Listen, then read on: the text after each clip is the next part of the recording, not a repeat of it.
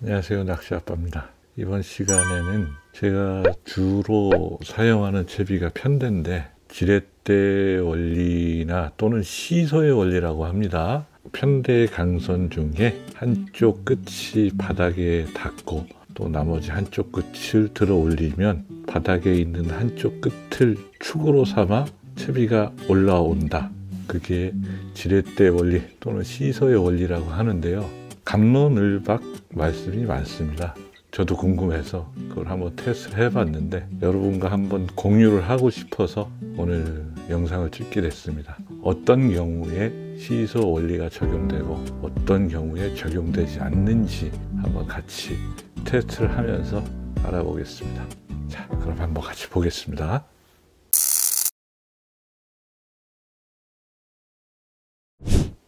자 지금 여기 테스트 하려고 수조를 준비해 놨습니다. 여기 있는 건 저희 큰딸 머리띠입니다.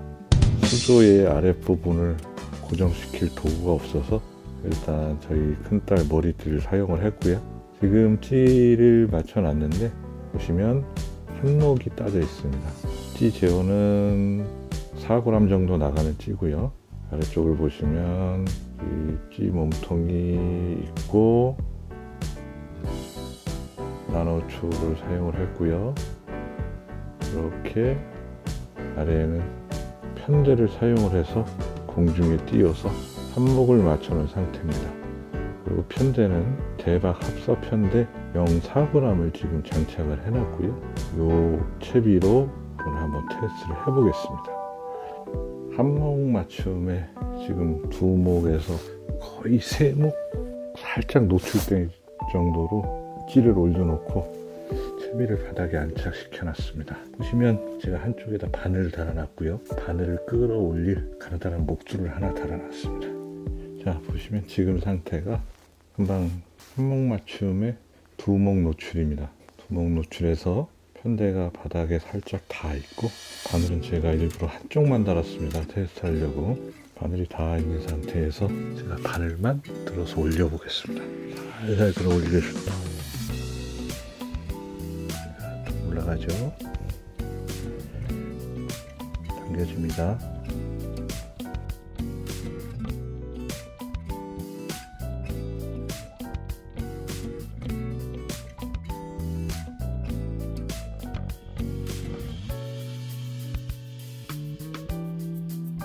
보셨는지 모르겠는데 살짝 한쪽이 먼저 뜨고 그 다음 나머지 한쪽이 떴습니다. 다시 한번 보여드릴게요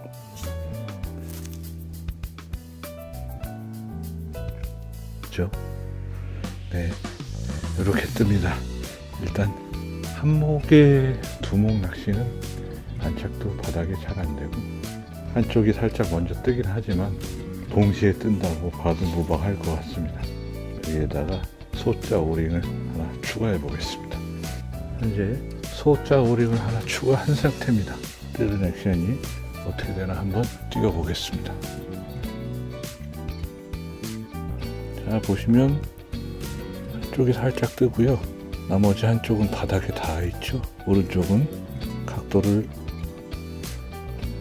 보시면 닿아 있습니다 한쪽이.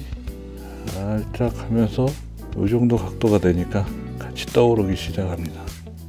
각도의 변화를 잘 봐주시고요. 여기에다가 소자 하나를 더 추가하겠습니다. 소자 하나를 더 추가했습니다. 한목 맞춤에 두 목에 소자 두 개 목입니다. 우리가 보통 한 목에 딸깍가 소자를 시키고 거기다 소자 하나 더 받고 하는 낚시 상태입니다. 바늘 한쪽을 들어보겠습니다.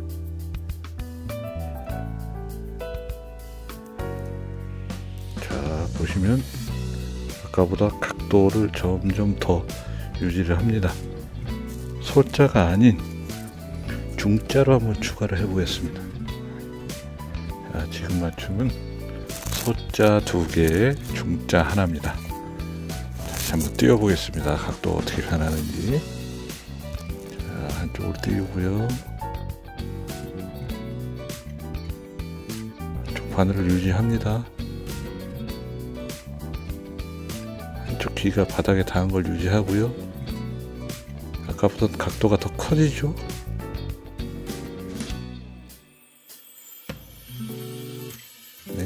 커지면서 더 커진 각도를 유지하면서 올라옵니다. 이번엔 중자가 아닌 특대, 특대 하나를 추가해 보겠습니다. 특대면 대략 중자 두 개, 소자 하나 무게거든요. 또 각도를 한번 다시 보겠습니다. 자, 바늘 들어봅니다.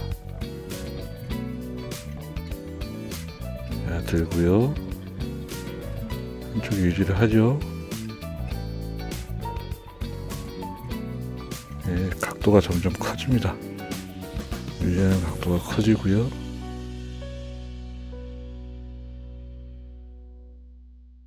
이 각도를 유지하면서 떠오릅니다. 박은 김에 특대 하나를 더 넣고 마지막 테스트를 하겠습니다. 자, 지금은 특대 하나를 더 넣고 그럼 특대 두 개, 중자 하나, 소자 두 개 무게가 되겠습니다. 각도가 다시 어떻게 변하는지 한번 보겠습니다. 자, 다시 한번 띄웁니다. 자, 바늘을 띄우고요. 한쪽 귀가 버티고 자, 아까보다 각도가 더 커지죠?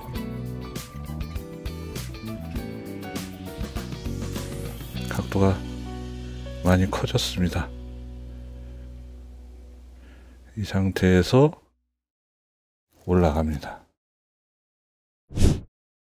여기까지 편대의 지렛대 원리 또는 시소 원리에 관해서 테스트하는 걸 같이 보셨습니다. 결과로는 가장 가볍게 한목 맞춤에 두목을 했을 때도 순간적으로 같이 뜨는 것처럼 보이지만 살짝이라도 한쪽 편대 바늘 귀 쪽이 유지가 되는 걸 보셨고요. 거기에서 아래로 누르는 무게가 점점 추가가 되면 될수록 이 휘는 각도가 점점 커지는 걸 같이 보셨습니다.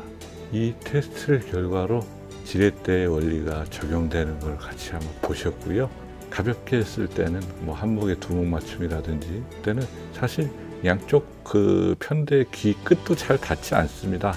그래서 기본적으로 저희가 하는 낚시는 한목을 따서 기본 딸가닥을 시키고 두목 낚시를 시작을 합니다. 그 정도 돼야지 양쪽 그 편대 귀가 바닥에 안정적으로 붙는다고 생각을 하고 낚시를 하니까 그 정도부터는 충분히 지렛대 원리를 이용을 해서 칩이가 올라온다는 걸 같이 보셨습니다. 여기까지 오늘 테스트를 마치고요. 별건 아니지만 여러분들의 낚시 생활에 조금이나마 도움이 되셨으면 좋겠습니다. 여기까지 시청해 주셔서 감사합니다. 다음에 좀 더 재밌는 영상으로 찾아뵙겠습니다. 감사합니다.